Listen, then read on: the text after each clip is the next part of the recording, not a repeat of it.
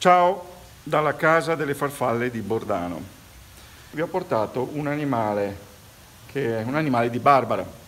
Lo abbiamo adottato io e lei qualche anno fa perché purtroppo i padroni originari non potevano più occuparsene.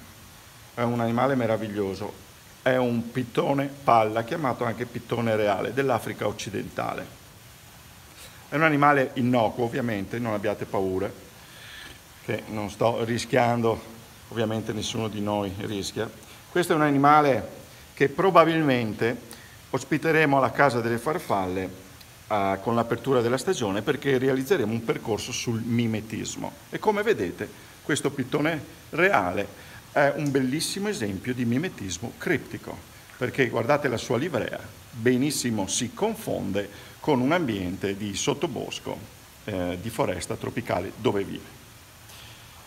Una delle particolarità del pitone palla, beh, innanzitutto è uno dei più piccoli pitoni, eh, raggiunge eh, al massimo un metro e mezzo, ehm, forse anche due, che è molto poco comunque per un pitone. Vi ricordo che eh, ci sono specie enormi come il pitone reticolato asiatico oppure come il uh, pitone eh, delle rocce, pitone di seba africano che sembra possano raggiungere, superare gli 8 metri e infatti sono pericolosi anche per gli umani. Molte persone ci chiedono di adottare rettili in particolare che loro hanno acquistato magari per il loro figlio o per se stessi eh, in un momento della loro vita. Il problema è che molti di questi animali vivono a lungo, ci sono per esempio tartarughe di terra che possono superare i 70 anni di età e quindi quando acquistate un animale del genere pensateci bene, dovrete prendervene cura per tutta la vita dell'animale e per animali appunto con una vita lunga come i rettili, eh, questo mh, mm, può essere estremamente impegnativo. Quindi non prendete con leggerezza animali come questo, anzi il mio consiglio non prendeteli affatto.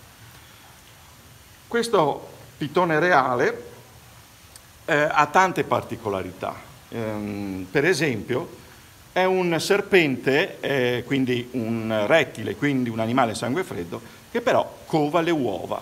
Com'è possibile? Covare le uova ha senso se sei caldo e con il tuo calore riesci ad aumentare la velocità dello sviluppo dell'uovo e quindi favorire appunto il fatto che l'embrione si sviluppi. Ma i serpenti sono a sangue freddo, quindi come può eh, avere senso e servire per un rettile covare le uova, in realtà questo pitone ha trovato un'ottima strategia. Riesce a produrre calore nel momento in cui ha prodotto le uova, in modo da poter scaldarle e quindi favorirne lo sviluppo. Eh, in poche parole si mette a tremare, come facciamo anche noi, anche noi tremiamo quando abbiamo freddo, perché? Perché il tremare implica un movimento muscolare non finalizzato al movimento del nostro corpo, infatti noi quando tremiamo stiamo fermi, eh, però il movimento muscolare produce calore. Quindi questo serpente cova le uova perché quando è il momento riesce tremando ad aumentare la sua temperatura corporea rispetto a quella dell'ambiente circostante. Eh, la cova può durare anche fino a 60 giorni il vero superpotere di questo pitone reale sta nel, nella testa. Davanti, come adesso vedrete, spero più da vicino, possiede degli organi speciali, chiamati organi a fossetta, che gli permettono di vedere, di percepire i raggi infrarossi. In poche parole, riesce a vedere un corpo caldo al buio. Ed essendo un animale che si nutre però più di mammiferi, quindi animali a sangue caldo. Questo permette a questa specie notturna di eh, poter identificare la preda anche in totale assenza di luce, un po' come fanno quel, i militari con quegli occhiali, quelle uh, apparecchiature, equipaggiamenti estremamente tecnologici. Ecco, i pitoni ce li hanno da milioni di anni. Ecco, come ultima cosa vorrei dire che tutti i pitoni, tutti i boa sono animali protetti dalla Convenzione di Washington, perché sono animali ovviamente che come tanti altri che vivono in questi ambienti tropicali eh, sono a rischio di estinzione, molte specie lo sono perché eh, il loro ambiente naturale viene appunto utilizzato, degradato, distrutto dall'azione antropica. Quindi è vero, una foresta tropicale è uno degli ambienti più ricchi di biodiversità, ma è anche uno di quegli ambienti dove se noi tagliamo tutto per coltivare o fare degli allevamenti, perdiamo più ricchezza biologica del pianeta. Ah, l'ultima cosa, visto che sta tirando fuori la lingua, voi sapete che i serpenti hanno una lingua biforcuta.